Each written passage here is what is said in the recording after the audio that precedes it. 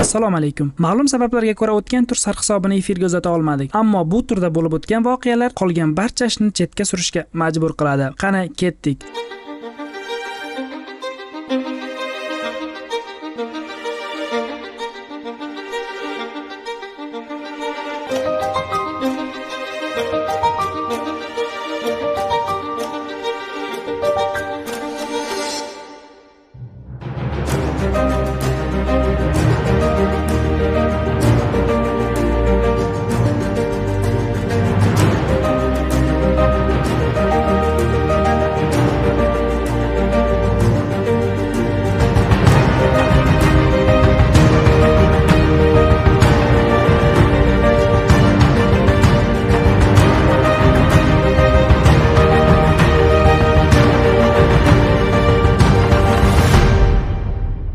Superliga 19-turni sarhisob qiladigan vaqt keldi.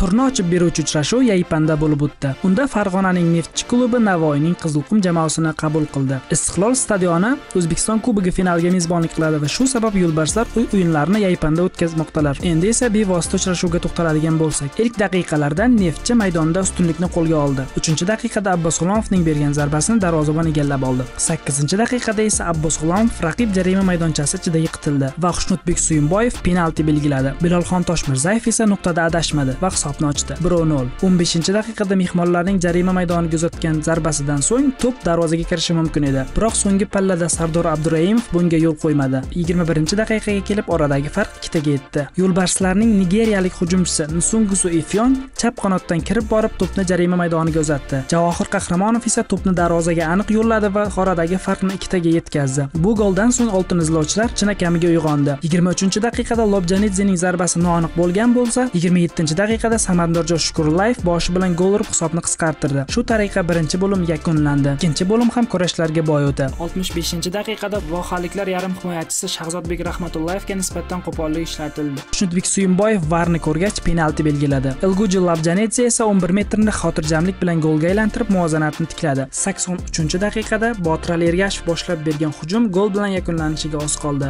Raqib himoyachilaridan o'tib ketgan azizbek amonov bilolxon toshmirzayevni qulay vaziyatga olib chiqdi. 77 raqamli futbolchining zarbasini darvozabon qaytardi. Finishga yaqin levchenko shogirdlari hujumlarni davom ettirdi biroq hisob o'zgarmadi. Shu tariqa jamoalar bir ochkodan bo'lib olishdi.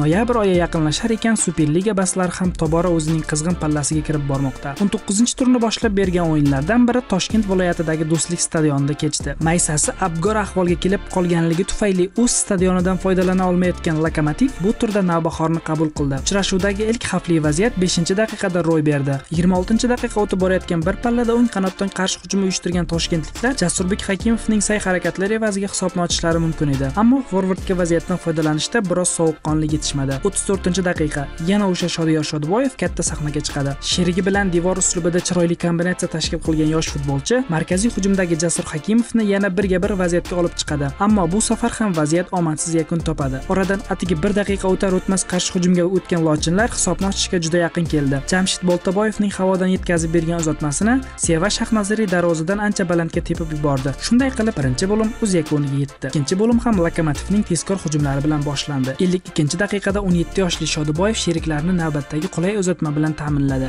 Mixail gashinkov o'ta kuchli zarba yo'lladi. Biroq bu zarba eldorbek suyunovni qandaydir harakat qilishga ham yetarli bo'lmadi. Oltmish oltinchi daqiqa. Jasur hakimov hujumda saidazamat mirsaidovga nisbatan fol ko'rsatdi deb topildi va sariq kartochka bilan jazolandi. Ammo vaziyat var orqali takroran ko'rilgach sariq kartochka bekor qilindi va temir yo'lchilar hujumchisiga qizil kartochka ko'rsatilib maydondan chetlatildi. 77 daqiqaga kelib va nihoyat bellashuvda hisob ochildi. Bu mavsum o'z jamoasining tobora kashfiyotiga aylanib borayotgan komil tojiddinov qulay zarba pozitsiyasiga kirib borib kuchli va aniq zarba yo'lladi va namanganliklarni hisobda oldinga olib chiqdi. 88 daqiqaga kelib zaxiradan o'yinga qo'shilgan muhammad anas hasanov chap oyog'i bilan aylantirib eldorbek suyunov qo'riqlayotgan darvoza tomon tomon zarba yo'lladi va tablodagi ko'rinishni biru birga keltirishga juda yaqin keldi. Ammo to'p darvozaning yon tomonidan biroz o'tib ketdi. 90 plyus 6 daqiqada jarima zarbasidan abu bakr rizo turdialiyev zarba yo'lladi. Ammo yana suyunov o'z o'rnida. Shunday qilib namanganliklar navbatdagi o'ta muhim uch ochkoni qo'lga kiritdi. Lokomotiv esa tobora xavfli zonaga yanada yaqinlashib bormoqda. Navbatdagi o'yin jizzaxda bo'lib o'tdi. Unda sug'diyona va andijon jamoalari bellashdi. Uchrashuvning sakkizinchi daqiqasida farhodbek bekmurodov birinchi zarbani yo'lladi. Zarba aniq bo'ldi ammo unga biroz kuch yetishmadi. Lyupchidoriyev o'ng qanotdan jarima maydonachasiga to'pni uzatib berdi. Himoyachilardan ildamroq harakat qilgan samandar mavlonqulov esa boshi bilan to'pni darvozaga sanchib qo'ydi. bir nol goldan so'ng endi hujum qilish navbati andijonga keldi. Ushbu hujumlarning birida abdulvohid g'ulomov to'pni ajoyib tarzda jarima maydonachasiga tashlab berdi. To'p raqib himoyachilaridan o'tib andijon futbolchisiga bordi va uning zarbasi noaniq bo'ldi. Birinchi bo'limga qo'shib berilgan daqiqalarda ilhomjon abdug'aniyev uzoq masofadan zarba yo'lladi. Zarba kuchli ammo yana noaniq bo'ldi. Jamoalar bir nol hisobi bilan tanaffusga yo'l oldi. Ikkinchi qirq besh daqiqalik burgutlarning hujumlari bilan boshlandi. Ellik beshinchi daqiqaga kelib esa hisob tenglashdi. Rustambek Turdimurodov raqib himoyachilarini dog'da qoldirib Mitrovich darvozasining pastki burchagiga to'pni joylab qo'ydi va muvozanatni tikladi. 73-daqiqada jizzaxliklar xavfli hujum tashkil qildi. Biroq ushbu vaziyatda Vladimir Yovovichning pasini darvozaga to'g'irlab yuboradigan Bora topilmadi. Shundan so'ng ko'proq tashabbus Sug'diyona tomonida bo'ldi. Ular ko'proq hujum qildi, xavfli vaziyat yaratdi. Biroq so'nggi pallaga kelganda yakunlovchi futbolchi topilmadi. Yana ayrim holatlarda darvozabon seyf ijro etdi. Shu tariqa Boshkvit shogirdlari bu turda ham ochko yo'qotdi. Andijon esa ikkinchi davradagi birinchi ochkosini qo'lga kiritdi. Mazkur turning eng kutilmagan va katta rezonansga sabab bo'lgan uchrashuvi olmaliqda metallurg va paxtakor o'rtasida kechdi. Bellashuv avvalida aksar muxlis va mutaxassislar nazdida sherlar oson g'alabaga erishadi deb taxmin qilayotgan edilar. Ammo o'yin bu taxminlarni mutlaqo teskarisini ko'rsatib berdi. Avvaliga ilk xavfli hujumdayoq hisobni ochgan paxtakor g'alaba bugun bizniki bo'ladi degandek ishora qilgan edilar go'yo. Dostonbek hamdamovning qulay uzatmasini golga aylantirgan dragon cherin yana katta sahnaga chiqdi. 36 daqiqaga kelib hojiakbar alijonovning ajoyib uzatmasini po'latxo'ja xoldirxonov boshi bilan golga aylantirishga juda yaqin keldi. Ammo darvoza to'sini bunday bo'lishiga xalaqit berdi. Birinchi bo'limda boshqa aytarli vaziyat bo'lmadi va jamoalar biroz zerkarli o'yinlari orqali tanaffusga yo'l oldi. Ikkinchi bo'lim boshidanoq paxtakor hujumkorlikni oshirdi va ilk qarshi hujumdayoq ulug'bek hoshimovni birga bir vaziyati bilan tugagan holat yarata oldi. 51 daqiqaga kelib toshkentliklarning navbatdagi reydi tashkil qilindi. Tiki taka uslubida juda chiroyli kvadrat o'ynab yakunlamoqchi bo'lingan vaziyat sardor sobirxo'jayevning ochiq darvozaga to'pni yo'llay olmagani bilan tugadi. Ammo gol kiritilgan taqdirda ham hisobga olinmasdi. Negaki aynan sherlarning 27 raqamli futbolchisi ofsayd holatida qolib ketgan edi.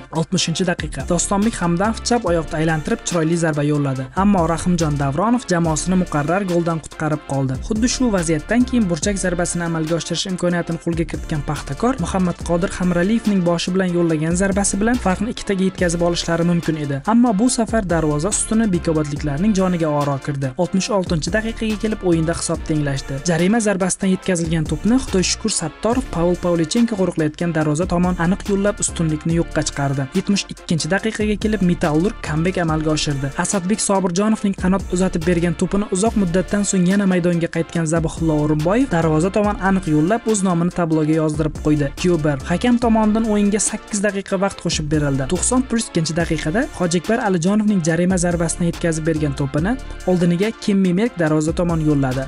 Davronov yana seyf namoyish etdi. Biroq qaytgan to'pga birinchi bo'lib yetib kelgan abdulla abdullayev osonlik bilan darvozani ishg'ol qildi va hisobni tenglashtirdi. Bir qarashda barchasi shu bilan yakunlanadigandek edi. Ammo bu o'yindagi eng katta voqelik so'nggi soniyalarda ro'y berdi. Po'latxo'ja xoldirxonov to'pni qarshi hujumda oldirib qo'yadi. Maydon markazida to'pni qabul qilib olgan marko milikovich esa birgina zarbasi orqali bu mavsum superligadagi yil golni kiritdi. Bu gol so'nggi hujumda boz ustiga maydon markazidan kiritilgani uning qimmatini yanada oshirib yubordi. Qolaversa madanchilar bu yil superligada dastlabki g'alabasini tantana qildi. Shuning uchun bu gol bemalol ayta olamizki yaqin yillar ichida chempionatimizdagi eng qadr baland gollardan biriga aylandi. Shunday qilib metallurg mavsumdagi birinchi g'alabasi orqali lokomotiv va bunyodkorni ta'qib etishda davom etadi. Paxtakor esa bu ketishda sovrinli o'rinlardan ham chetda qolish mumkinligi katta ehtimolga aylanib bormoqda. Superliganing eng haytiri kam va ko'pchilikning hurmatiga sazovor bo'lgan olimpik jamoasi bu turda dinamoni qabul qildi.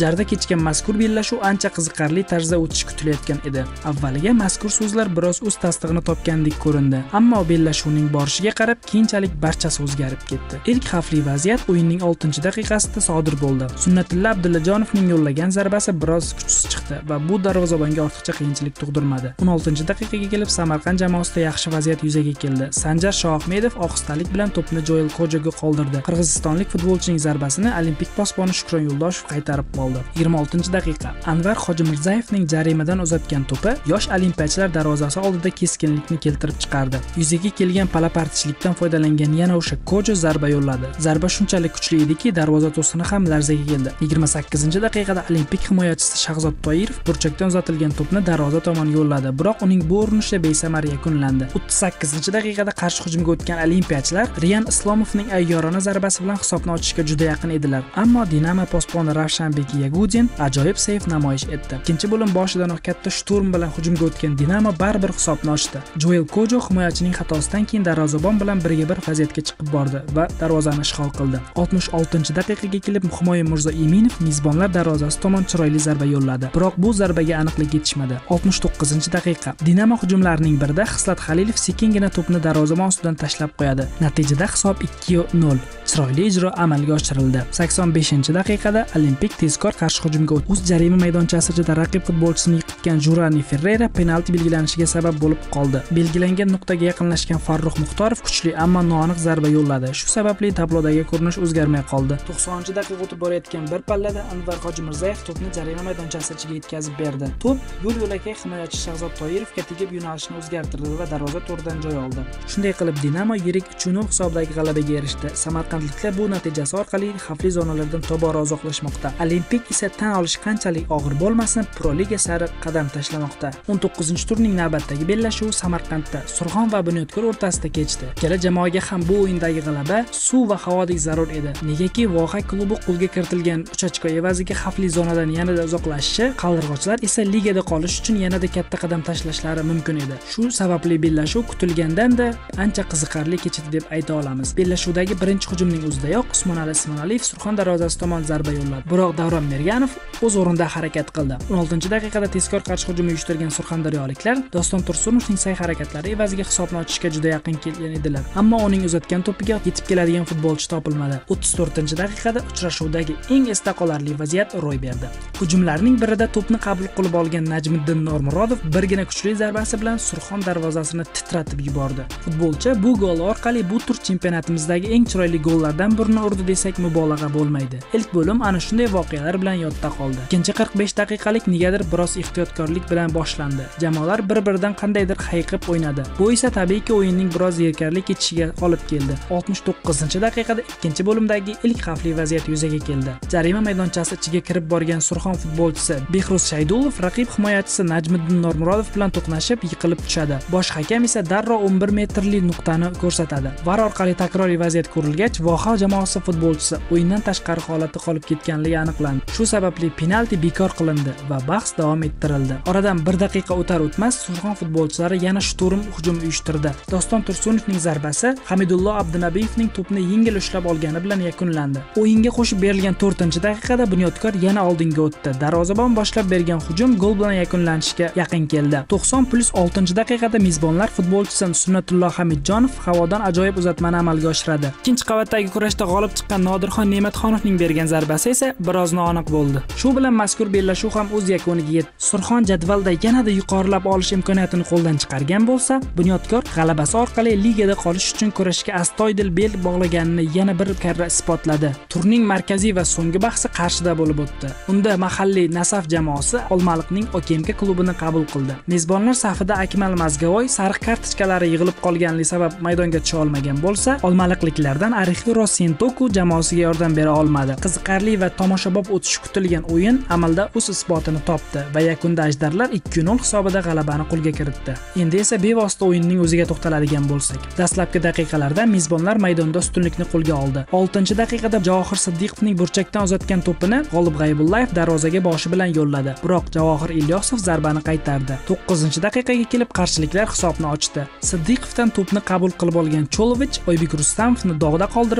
to'pni javohirning o'ziga ohista tashlab berdi. Tajribali futbolchi boshi bilan to'pni darvozaga joylab qo'ydi va hisobni ochdi. bir nol goldan so'ng qosimov shogirdlari ham oldinga o'tishni boshladi. o'n yettinchi daqiqada mirjamol qosimovning jarima maydoniga uzatgan to'pidan so'ng igor golbun va abduvohid ne'matov bir birlarini tushunmay qolishdi va natijada hayrat jo'rayev bu holatni varda tingladi. Ammo varda himoyachining qo'liga tekkani tekshirildimi qoida buzilish holatimi bunisi muxlislarga qorong'u bo'ldi. Navbatdagi xavfli hujum ham mehmonlar tomonidan uyushtirildi. Qosimov burchak to'pini amalga oshirgach dilshodbek ahmadaliyev to'pni jarima maydoniga uzatdi. To'pni qabul qilib olgan ruben sanchesning zarbasi darvoza to'sini yuqorisidan o'tib ketdi. Bo'lim yakuniga yaqin konchilar darvozasi tomon penalti belgilandi. To'pni egallab olgan oybek bozorov jarima maydoni ichida turgan jigauriga to'pni uzatdi. Jambulining boshi bilan bergan zarbasi oybek rustamovning qo'liga tegdi. Bellashuvni boshqarib borayotgan g'ayrat jo'rayev 11 metrga ishora qildi. Ushbu imkoniyatni esa javohir siddiqov panenka uslubida aniq amalga oshirdi va farqni ikkitaga oshirib qo'ydi. 44 daqiqada jigauri yana o'sha cholovichni qulay vaziyatga olib chiqdi. Serbiyalik legionerning tepgan to'pini ilyosov egallab oldi. Bo'lim mana shu tarzda yakuniga yetdi. Ikkinchi bo'limda okmk safida aziz xolmurodov